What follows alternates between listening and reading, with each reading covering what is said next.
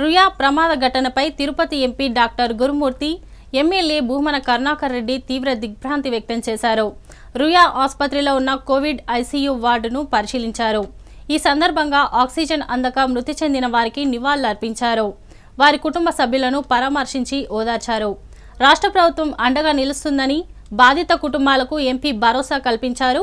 భవిష్యత్తులో ఈ తరహా సంఘటనలు పునరావృతం కాకుండా పూర్తిస్థాయి చర్యలు చేపడుతున్నట్లు స్పష్టం చేశారు.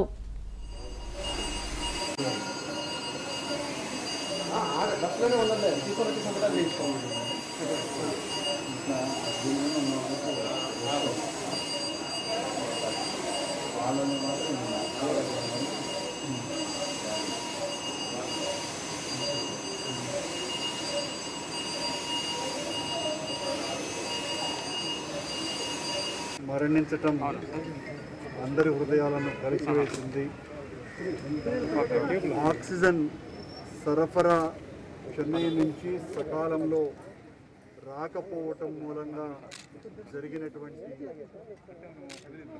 తప్పిదము ఇలాంటి పొరపాట్లు మళ్ళీ జరగకుండా పూర్తిగా జాగ్రత్త చర్యలు తీసుకుంటామని వైద్యులు వైద్య బృందము అధికారులు అందరూ కూడా చెప్తున్నారు ఈ సమయంలో మనమందరం కూడా సంయమనాన్ని ఇలాంటి విపత్తులు సంభవించినప్పుడు వ్యక్తిగత స్వార్థానికి రాజకీయానికి వాడుకునేటువంటి ప్రయత్నం చేయకుండా మనమందరము కలిసి కరోనా మరణించటం అందరి హృదయాలు if you like this video please like it share it and for more videos, please subscribe to our channel.